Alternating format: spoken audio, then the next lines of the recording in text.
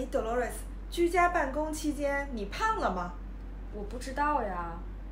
你为什么不知道？你的秤呢？我把我的秤扔了。你为什么要把你的秤扔了？因为秤的电池好像坏了。电池坏了可以修啊，你为什么把它扔了？因为我觉得我的秤好像闹鬼。啊？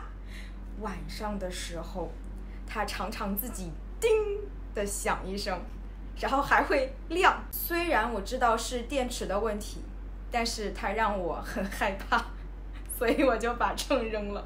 那你现在不知道自己多重怎么办呢？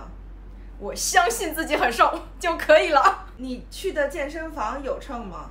有啊，下次去称一下，告诉我。不要。Chinese Dolores and Leah。